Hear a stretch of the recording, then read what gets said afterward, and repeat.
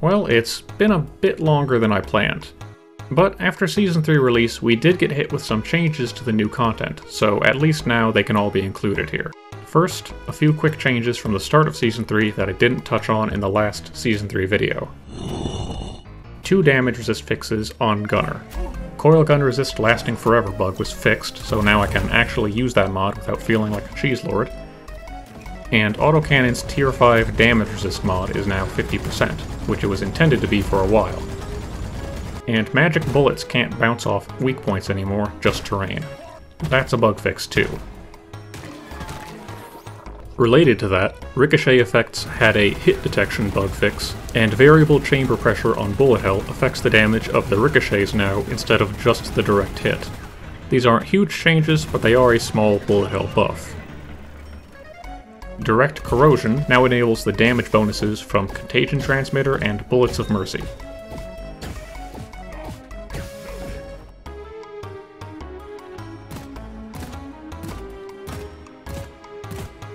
And a little thing I think many people still haven't noticed.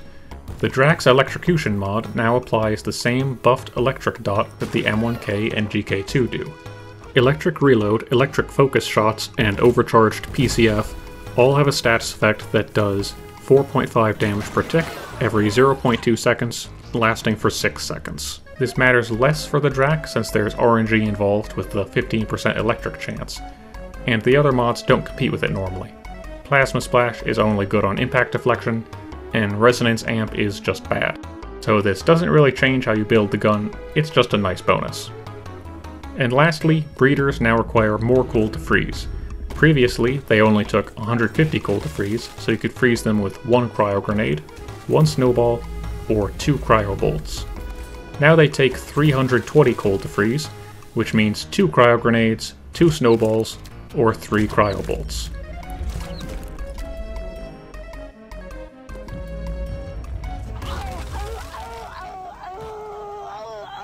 Alright, now for the actually new stuff, starting with the grenades.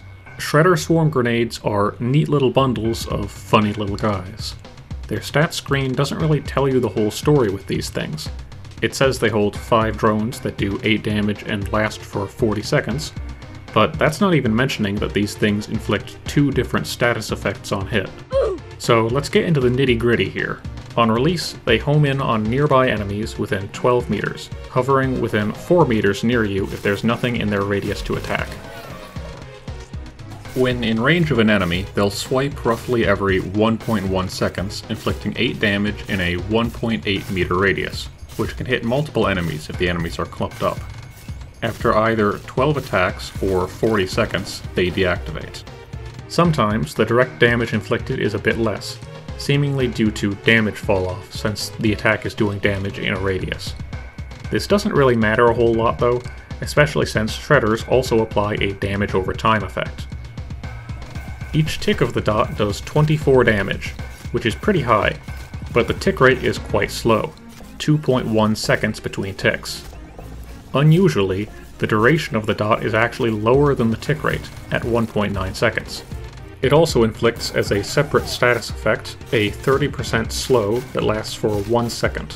For a demonstration, here's a Praetorian. Like most enemies, it has multiple different move speeds. 160, 200, and 280.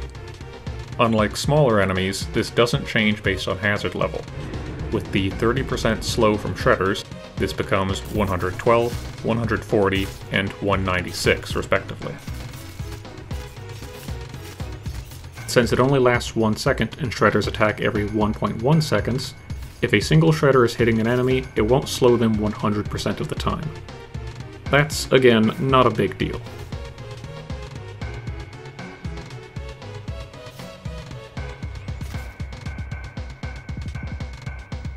You can see here that the dot is actually called a damage limiter internally.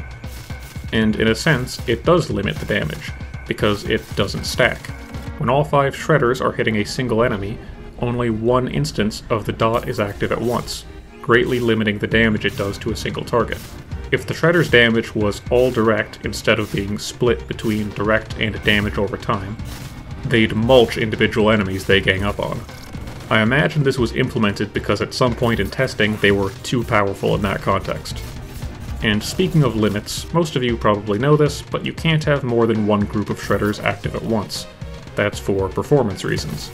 If one Engie could throw all four of their grenades and have 20 shredders out at once, then a team of four Engies could have 80 shredders active, which would be pretty bad for many players' computers. Also, they're completely immune to friendly fire and deal no friendly fire themselves. I've mentioned more than a few times before that damage over time status effects in DRG will instantly tick once as soon as you apply them, without having to wait for their tick rate to count down. The damage per tick being higher than normal and tick rate being slower than normal on these means getting one tick immediately is higher value. But that's not all. For some reason, when the shredder dot is applied, it actually ticks twice instantly instead of once.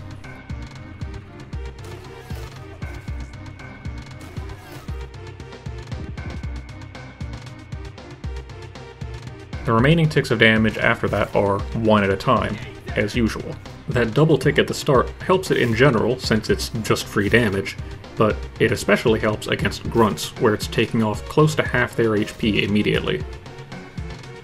So, each shredder does 7.27 DPS directly, and the dot effect does 11.43 DPS, plus 48 damage on first application. Since the status, like others, does not stack with itself, Shredders will do more damage total if they're hitting different enemies, which is usually what they do if there's enough targets for them to attack. Since they die after 12 attacks, when attacking an enemy repeatedly, they'll attack for roughly 13.2 seconds. If they're all hitting the same enemy, they'll do around 648 damage. If they're all hitting different enemies, they'll do around 1320 damage, potentially more if the attacks are hitting multiple clumped up enemies. Since they aim themselves with no friendly fire, they're much more forgiving in terms of positioning and timing than normal grenades. And due to the way they attack, if the group you threw them for gets killed early, they'll still hang around for a bit and can start attacking the next group of bugs that shows up. Plus, nothing resists the damage they do, if Shredders wind up attacking tankier targets, it's not exactly optimal, but they'll still do decent damage. It's very, very easy to get a high level of efficiency out of them, unlike other grenades that you might wind up not having very many good opportunities to throw. They're extremely general use, and especially valuable in messy scramble situations where bugs are spread out and teammates might get in the way, like for instance when a defense objective or choke point is getting overrun.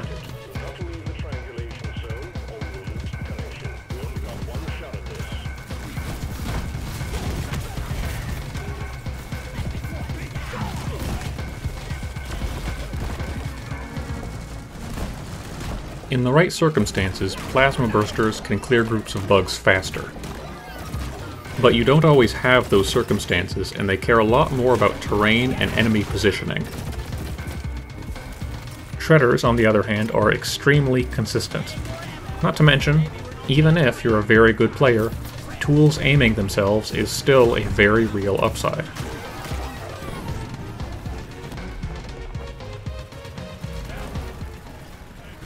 The rest of the grenades aren't quite as complicated.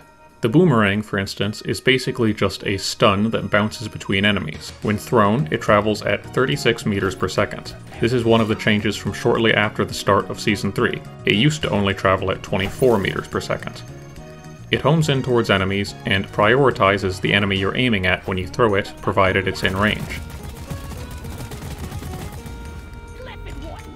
And the range is quite far, 40 meters.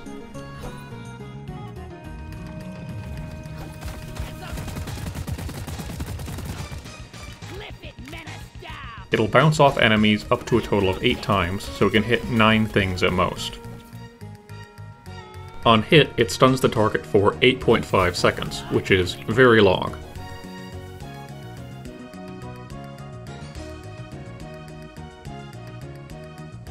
Also, it does 35 damage directly and inflicts an electric effect that does a tiny 1 damage per tick 4 times per second and lasts 4 seconds. The puny damage is really not the point here, although being able to kill small targets is a nice side benefit sometimes.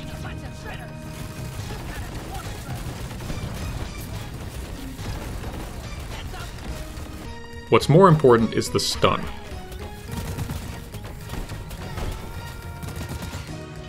If the target is stun immune like a bulk, then that 4 second electric effect still keeps them in place, because it actually uniquely slows by 100%.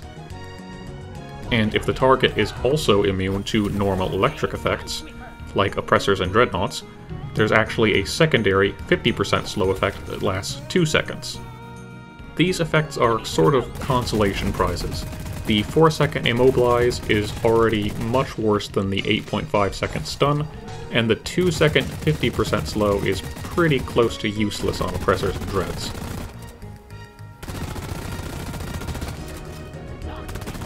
I'll admit, my initial impression of the Stun Sweeper was that it was basically a weak jack of all trades. Does everything and you have 8 of them, but IFGs are better against big targets and dense swarms, while Pheromone or Cryo Nades are better panic buttons. But I've softened my view of these a lot since. That 40 meter range means that you can immediately stop a distant priority target and kill it with ease. So if you are focusing on stopping dangerous enemies as quickly as possible, it's a good take. Plus, it's pretty good against Mactera groups. It doesn't insta-kill them like a Cryo will, but it does let you quickly stop Tri-Jaws from firing and stuns most or all of the pack. Not likely to be my top pick for Scout, but it's by no means bad.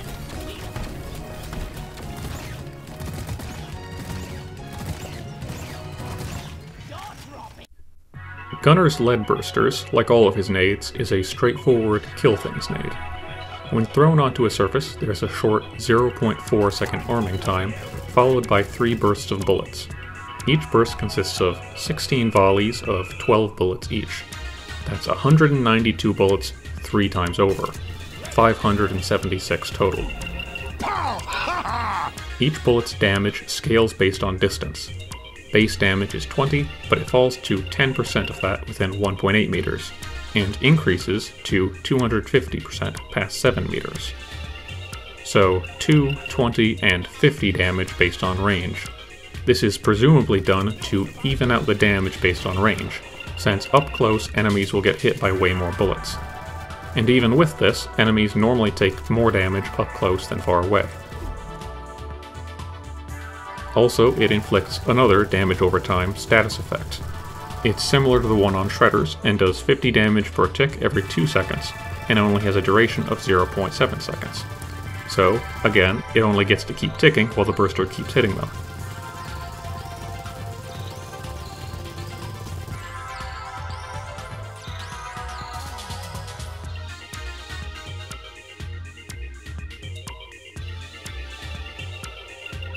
And just like the Shredder dot, the tick you get for free when the status is first applied to an enemy is doubled. So maybe that's connected to both of these statuses having a shorter duration than their tick rate. And both the direct damage and the dot on lead bursters are piercing damage, which means less damage against Praetorians and Oppressors, and more damage against Mactera spawn and Goo bombers.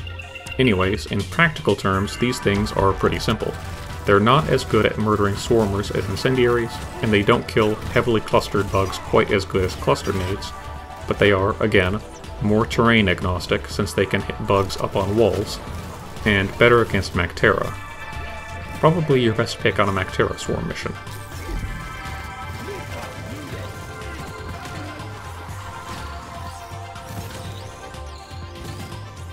Plus, saturating a whole room with bullets can have some unexpected side benefits.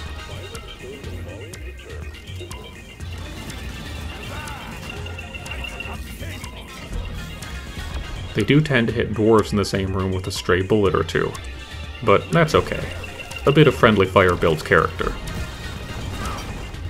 But not too much, he said foreshadowingly.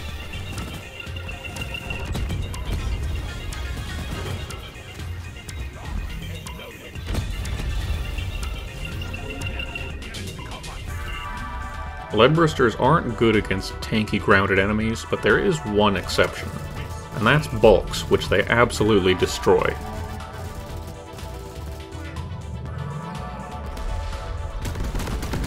You can take out almost half of a HAZ-5 4-player scaled bulk's HP with one Leadburster. So, if you've got some of these in your pocket and a bulk shows up, that's a great time to spend them.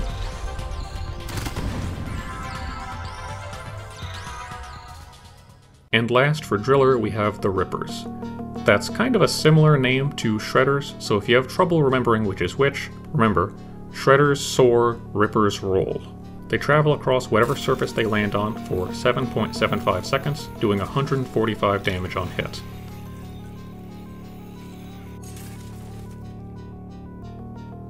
That's 145 explosive damage, which does mean they one-shot slashers, but they also do less damage to guards, oppressors, bulks, and dreadnoughts. Also, they have a friendly fire multiplier of 70%. If you see someone saying it's 110%, that's outdated. Friendly fire also scales based on hazard level, reaching 70% on hazard 5. So on Haz 5, these do 145 times 0.7 times 0.7 equals 71.05 damage. That's still close to half a player's HP, and on a buzzsaw that unpredictably rolls around complex 3D environments. Needless to say, these things are a big friendly fire hazard.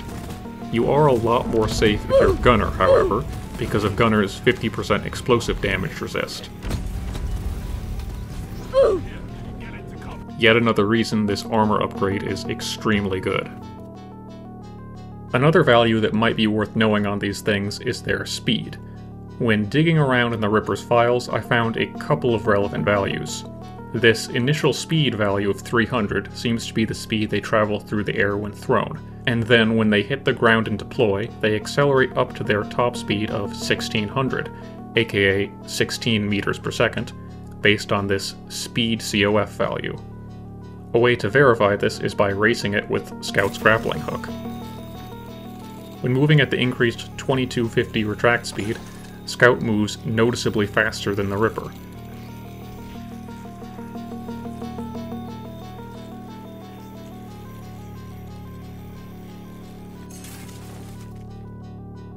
But when moving at the default retract speed of 1500, the Ripper is just a little bit faster than you.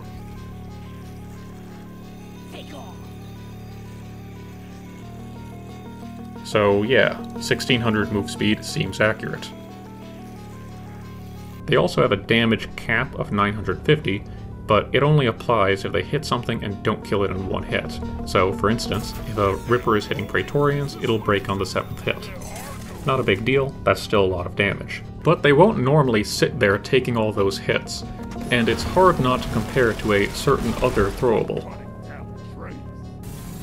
Since the damage doesn't get boosted against frozen enemies, they're really hard to recommend over axes if you're using the cryo cannon. And to be honest, it's a hard recommendation in general. This is a throwable that is strong in pretty much just one situation, which is you're camping a tunnel that bugs are streaming into. There, Rippers will happily kill weak bugs for about 8 seconds. In any other situation, they're pretty anemic, You'll usually do better damage with your primary, and with much less risk of friendly fire from a Ripper unpredictably rolling around complicated terrain. Because of the strengths of Driller's primaries, you're usually better off with axes to help against tanky single targets, and if you really do want your throwable to help against groups, high explosives or neurotoxin grenades work in much more varied scenarios.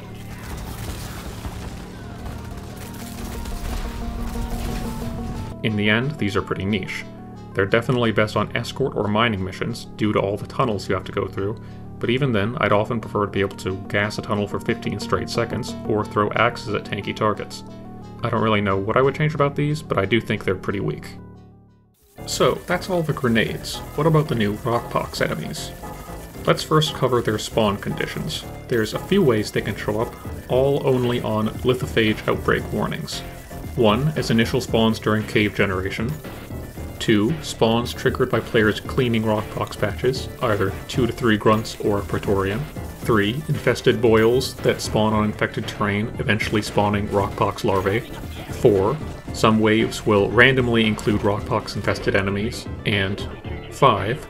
On mining and refining missions, timed swarms can be swarms of rockpox enemies instead.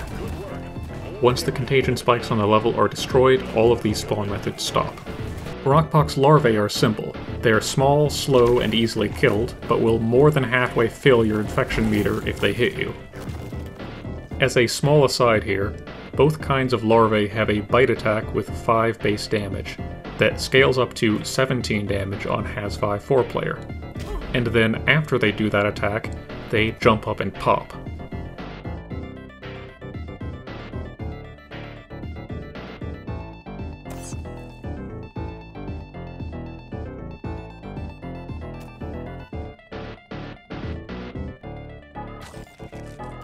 They have parameters for a small AoE poison attack in the game files, so either this is supposed to be that and it's not working because it does no damage, or these stats are dummied out and they are just intended to kill themselves after doing a regular attack. I honestly don't know.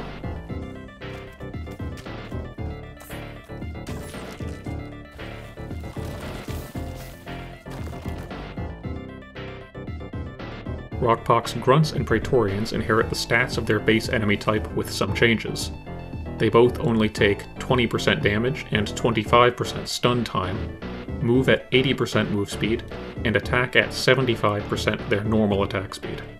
Their normal melee attacks now inflict the Rockpox status effect, and so does the Praetorian breath attack. They both get a new projectile that inflicts Rockpox, and they both leave clouds that apply it on death as well. On screen are all of the different sources of infection towards players. If you haven't taken any Rockpox for 1.5 seconds, you begin to recover at a rate of 6 per second. And at 100 Rockpox, you're immobilized and start taking 10 damage per tick with a variable tick rate of 0.5 to 2 seconds. If you react quickly, you'll probably get out in about 1.5 seconds, maybe a bit slower. Since the tick rate is so variable, the amount of damage this deals to you can be anywhere from 10 to 30 on a quick escape. Usually, you should expect to take 20 damage if you get infected. Also, their normal weak points are not weak points anymore, and instead are replaced by these blisters. They only have 5 base HP, so hitting them directly will always pop them. AoE damage is more complicated, we'll get to that later. They deal a guaranteed 30 damage for grunts or 150 damage for Praetorians when destroyed, and are also 2x weak points, but the damage done by your weapon is still lowered by 80%, so it's not very worth it to hit them with something strong. On that table a bit ago, that last blister pop status might have seemed strange, this wasn't always around, and it was added because drillers were bullying Rockpox enemies by just walking at them, holding M1, and popping all the blisters with their big masculine drills. Now, if you're within 3 meters of a Rockpox enemy and pop one of its boils, you receive a debuff that inflicts 35 Rockpox instantly and then another 35 slightly later. Since this is a status effect that doesn't stack, if you pop multiple blisters quickly enough, you'll still take the same 70 infection so it's still sometimes worth it to drill bugs. But what about AoE? AoE does affect Rockpox blisters, but the amount of AoE damage required is kind of surprising and subject to some weird quirks. Let's take this base damage Hurricane. It does 20 AoE damage, which you would expect to be easily enough to pop this Praetorian's blisters in one shot. Instead, it takes at least two. The damage is being reduced by two different things. The first is difficulty scaling, which the blister inherits from the host. I'm on Hazard 5, 4 player scaling right now, which means this Praetorian has 1.5 damage resistance. So this blister has 7.5 HP instead of 5 HP. That's not nearly enough for this to take two shots yet, but the second thing is that when Rockpox blisters take damage from AoE sources, unlike direct sources of damage, the Rockpox bug's 80% damage resistance is applied. So, in the end, we're actually doing 20 times 0.2 equals 4 damage, and so it takes 2 shots to take out the blister's 7.5 HP. As for grunts, it actually takes way more shots. A blister needs to be caught right next to 15 of these 20 damage AoE shots to break.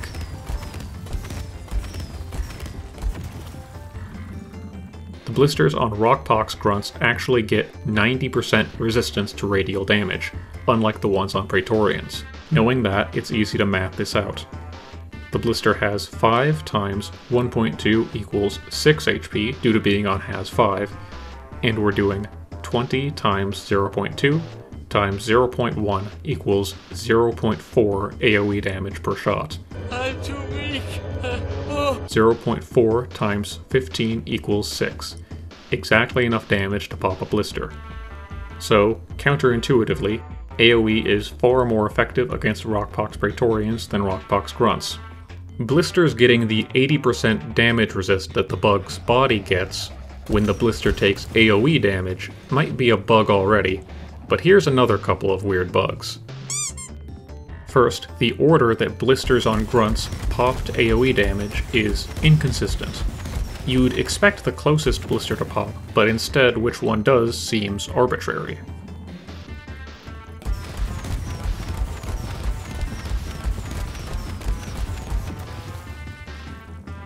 Second, AoE damage seems like it falls off against these more than it should. Remember the clip I used in the PGL breakdown with Fatboy to demonstrate this? Well, here it is again, rebranded for a new generation.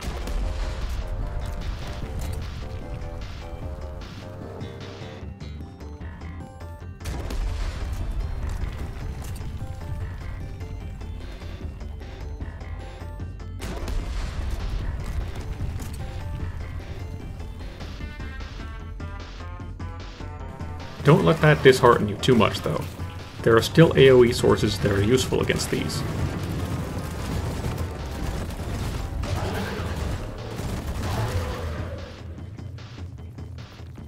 Also, since Breach Cutter isn't treated as radial AoE damage, it shreds Rockpox enemy blisters like nothing else. That's all for the Vibio. Most of this is not about new changes anymore, but hopefully you learned something anyways. Goodbye!